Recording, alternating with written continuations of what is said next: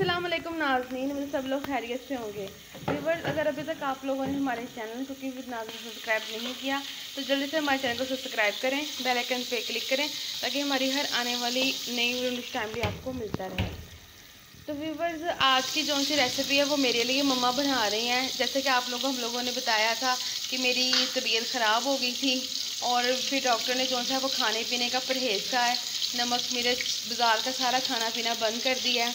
तो उन्होंने कहा है कि मतलब हल्की फुल्की गज़ा खानी है आपने और पाँच दिन के लिए उन्होंने ये पाबंदी लगाई है। तो फिर मम्मा ने सोचा कि मैं खिचड़ी बना दूँ और आज हम लोग जो सी है वो किसकी? मम्मा बना रहे खिचड़ी? मूँगी मूँगी की दाल की खिचड़ी बना रहे हैं। तो अब चलते हैं मम्मा की तरफ़ और मम्मा से पूछते हैं कि जो खिचड़ी वो बना रहे हैं मेरे लिए वो कैसे तैयार करेंगे? जी अस्सलाम वालेकुम क्या हाल चाल है मेरे बहन भाइयों? बिस्मिल्लाह बच्ची की तबीयत ख़राब हो गई थी, रात भी डॉक्टर के गए। तो अब मैंने कहा दोपहर का टाइम है, बच्ची को मैं खिचड़ी बना देती हूँ, भूखे से लगी हुई है। तो मैंने कहा चलो दो दिन परहेज़ कर लो, कोई बात नहीं खाने पीने का। तो फिर मैंने कहा मैं अपने बहन भाइयों से भी शेयर कर लेती हूँ खिचड़ी। तो मैंने एक कटोरी ली है चावलों की, उसमें थोड़ी सी दाल डाल दी है, भुगो दी थी। अब मैं ना थोड़ा सा नमक, ज़ीरा थोड़ा सा गर्म मसाला ज़्यादा नहीं डालना। तो क्योंकि मसाले मना किए ना डॉक्टर ने तो मैं आपके साथ में शेयर करती हूँ कैसे बनाती हूँ मैं खिचड़ी। पहले आप यहाँ पे प्याज ब्राउन कर रहे हैं। हाँ जी ज़्यादा नहीं करने बस हल्का से। थोड़े से और हो जाएँ। तो अल्लाह का शुक्र आप तबीयत इसकी बेहतर है। सुबह दवाई वगैरह भी इसे दी है खाने को। सुबह मैंने हल्का फुल्का नाश्ता भी दिया इसे। ब्रेड भी इसने खाई थी।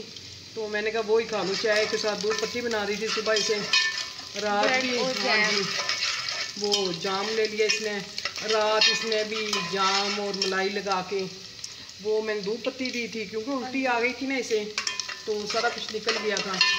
तो फिर इसे मैंने ना वो दूध पत्ती दी और दवाइयाँ वगैरह देनी थी रात भी इसे तो वो दी। मैंने कहा, चलो दो चार दिन परहेज है, पाँच दिन की दवाई दी है सिर्फ़ डॉक्टर ने। पाँच दिन खा लेगी दवाई, इंशाल्लाह ठीक हो जाएगी तबीयत। तो क्योंकि वो डॉक्टर कह रही थी कि एलर्जी के वगैरह हुई है ऐसे कोई। उसकी वजह से इसकी तबीयत ख़राब हुई है। चलो कोई नहीं अल्लाह ताला ना हाँ जी। नहीं अल्लाह माफ़ी दे वो वाला मसला नहीं है जो अल्लाह माफ़ी दे सांस का होता है। जो दमा वगैरह हमारे ख़ानदान में तो ऐसा कोई नहीं है सांस का मसला। बस हमारे तो यही है ब्लड प्रेशर या शुगर या दिल की तकलीफ़ है। दोनों तरफ़ से। हमारे सांस का तो कोई मसला नहीं है हमारे ख़ानदान मैं। रात ही से कह रही थी कि हमारे ख़ानदान में ऐसा कोई मसला नहीं तो सांस का नहीं कोई वैसे ही मसला हो रहा है। तो मुझे लग रहा है वो डॉक्टर कह रही थी गले की वजह से इससे हुआ है। तो गला ख़राब हुआ हुआ था। हाँ जी हाँ गला। इसमें ना थोड़ा सा पानी डाल दी मैं। उससे पहले वो रिश्ता आज मुझे मतलब खांसी भी बहुत ज़्यादा हो रही थी तो मैंने सिरप पी लिया खांसी का। पता नहीं मैंने कहा क्या हो रहा है अजीब सा। ये थोड़ा सा गर्म मसाला डाल रही मैं जैके तो फिर अगले दिन तबीयत ख़राब हो गई। ये ज़ीरा।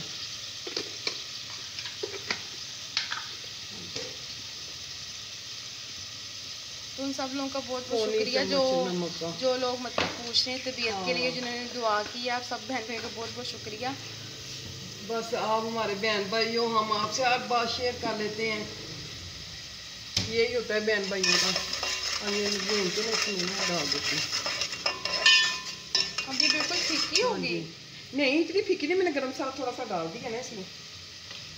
बिल्कुल फीकी नहीं ना खाई जाएगी। हाँ जी। अब बेटा कोई नहीं। जब बंदा बीमार होता है तो थोड़ा बहुत परहेज तो करना पड़ता ही है ना।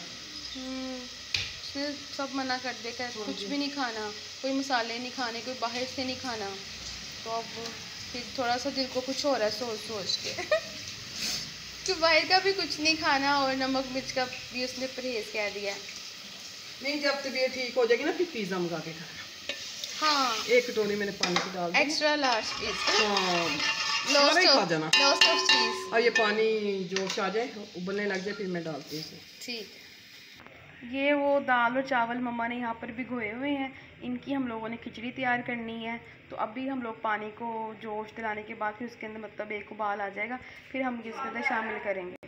अब पानी को जोश आ गया हाँ जी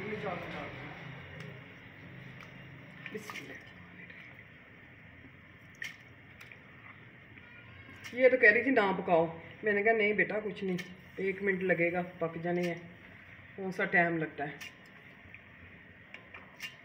कह रहे थे गर्मी में आप कहाँ पाओगे मुझे फ़िक्र हो रही थी ना अपनी मम्मा की। मम्मा को मेरी फ़िक्र हो रही थी। नहीं मैंने कहा कोई नहीं। फिर मम्मा ने बनाई दी मुझे ये।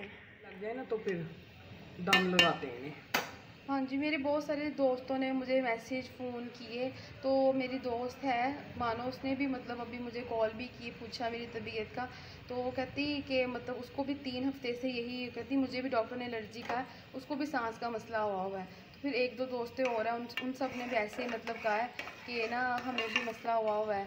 तो कहते मतलब मौसम की वजह से वबाई फैली हुई है सांस की एलर्जी की ना तो हाँ, सुबह इनकी आंटी का भी फ़ोन आया। है हाँ और मतलब लोग खबर लेने के लिए भी आए तो आंटी का भी फ़ोन आया।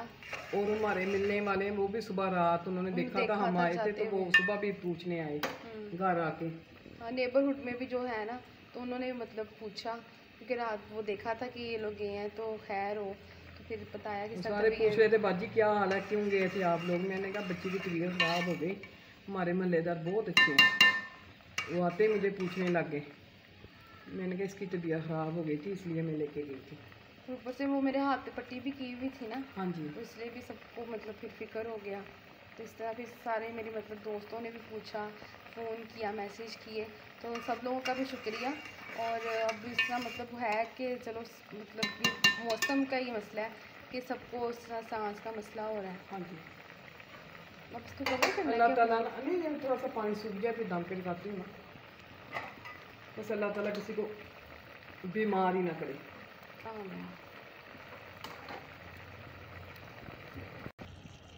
हाँ जी अब मैं ना दम पे रखने लगी हूँ। दस मिनट बाद देखते हैं। फिर देखते हैं कि जो खिचड़ी है वो तैयार हो गई है। हाँ जी तो खिचड़ी बिल्कुल तैयार हो गई है। तो अब इसको डिश आउट भी कर लेते हैं और मैं फिर खा भी लेती हूँ फिर आपको बताती हूँ खा के कि कैसे हो गई मैं आप निकाल के ना बच्ची को देती हूँ। मम्मा ज़्यादा ना देना मुझसे खाई नहीं जानी। अच्छा बेटा। बस मम्मा बहुत है और ना डाल। चलो इतनी खा लो ज़रूरत पड़ेगी वो ले लेना। ठीक है मैं आपको खा के बताती हूँ। हाँ। मम्मा ने ये खिचड़ी दे दी है मुझे निकाल के तो अब मैं इसको खा कर बताती हूँ आप लोगों को कैसे बनी है। बिस्मिल्लाहिर्रहमानिर्रहीम। गर्मा गर्म है खुशबू तो वैसे अच्छी आ रही है। चुबा के बेटा खाना। ठीक है मम्मा। बिस्मिल्लाहिर्रहमानिर्रहीम। गरम बहुत ज़्यादा। है आराम से खाओ। अच्छी बनी है मतलब माशाल्लाह। मेरी मम्मा ने बनाई है इसलिए नहीं।